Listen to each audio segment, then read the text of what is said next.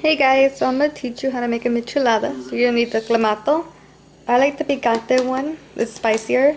You're going to need your glass or modelo, any type of beer you want. Maggi, tapatio, Tajín, and chamoy, and either lemons or lime. You're also going to need a little plate and a little bowl like this. So this is what you're going to need. Hi guys, so today, go ahead. So today we're doing a michelada video. So what you're gonna need is to pour some chamoy into a little bowl like this. Amount. I already cut my lime, or you could cut your lemon. And then you put some Tajín onto your plate. So just like this. So what I'm going to do, I'm going to get my cup. I'm going to turn it into the chamoy to get it like a really sticky, yummy. And then I'm going to go into the Tajín like this.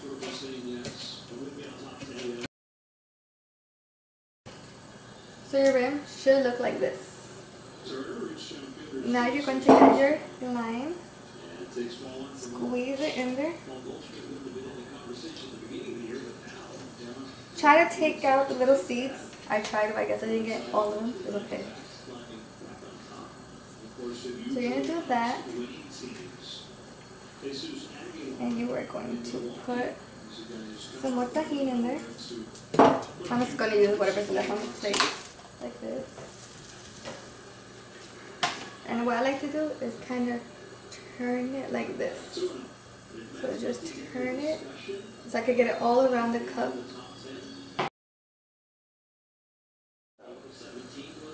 So now that you have it like this, you are going to go in with your Maggi sauce.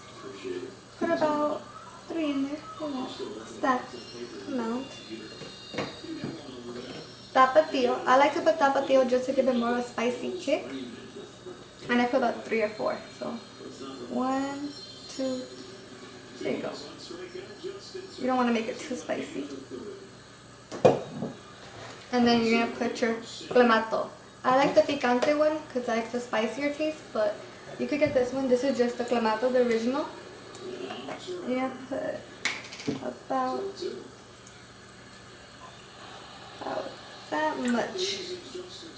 Maybe a little less depending on you, how much clamato you like. And then you are going to get the beer of your choice. That's such a beautiful, beautiful sound, isn't it?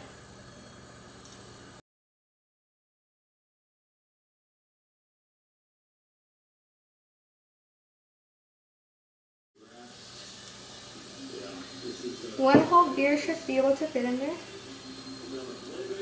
And what I like to do, a chopstick or a spoon, you just kind of want to mix it together. So just mix it like this. And sprinkle on top. I feel like this just gives it like a prettier look. And there you go. This is your michelada. So please drink responsibly and enjoy. Is it nice enough to open a window, sir?